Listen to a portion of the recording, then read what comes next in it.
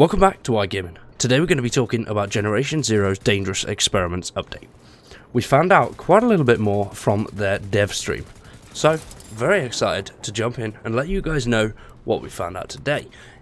If you are a fan of Generation Zero and you're looking forward to the Dangerous Experiments update, please drop a like on the video, subscribe to the channel, and stick around for much more. So the Generation Zero stream gave away lots of details. We even got our first look at one of the new experimental weapons, the Magnus, and it is pretty damn cool. Alongside that, we got to hear a little bit more about the other two weapons. Uh, we don't know what their effects will be, but we do know it's the KVM-89 and the uh, Alistair, uh, whatever it is, the hunting rifle. Um, so pretty damn cool. Very excited for that, and this is all coming on Monday. Now, before that though, on Friday, we could potentially be seeing something else as well.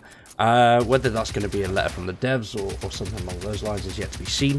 But let's have a little bit of a look at the uh, the Pontus, which was shown off in the stream. Check this out. Here it comes. Yes, look what I equipped, everyone. Uh, looks pretty dope with the laser, right? I gotta say, I really, really like that feature. Yeah. All right. So, anyone wanna guess what it does? That recoil, yeah, I got a bit of a recoil, I gotta say. Uh, but anyone wanna guess what the kind of uh, uh, experimental feature is? My friend last played 800 days ago. Ah, oh, Jesus. Rapid fire, uh, it's not the experimental thing. 1% chance to EMP is not it. Armor piercing, well, kinda. It does a lot of damage, yeah, it can do. Homing bullets, nope. I think it shoots. Yes, Lucid is of course right, it does shoot. Remote explosive. Uh, so, explosive rounds, well, almost. Uh, explosive bullet after impact. Yeah, we're getting close. We're getting close. Shrapnel bullets. Alright. Dream Machine, uh, kinda got it. Kinda got it. Very, uh, very good guesses, everyone, I gotta say. Very good guesses. Similar to the sniper, yes. So what happens is, when you shoot the target, like a machine or even a, a, a tree or, or you know uh, a fence or, or whatever, uh, it will overpenetrate the target. Uh, the bullet will explode and kind of give a shotgun uh, exploding effect uh, behind the target. Uh, what do you mean, kinda? That's exactly what it is. Shut up, Carney. Stop.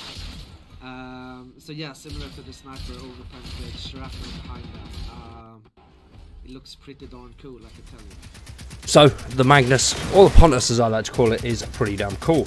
But alongside that, we are going to be seeing a brand new weapon pack. This one will be a paid weapon pack, whereas the rest of the update is for free. So we're just going to talk about the paid bit first. It is the Eastern European Weapons Pack and it has three new weapons a handgun, an LMG, and an SMG. That'll be the same price point as the rest of the weapon pack, so around about £3-4. Very, very cool, very exciting. Now, alongside the experimental weapons, what we will be seeing is major performance improvements, alongside memory, FPS, and less loading. So, pretty damn cool. It's been a while since we've had performance updates, and there's also loads and loads of bug fixes. And then with those, we're going to be seeing control point revamps, which, yeah, some people will be interested in that, others not so much. But something that I'm very, very excited for is the schematics tree. Now, obviously, we get clothing schematics, and there is an absolute metric ton of them. So, uh, the way that we currently get them is through machines.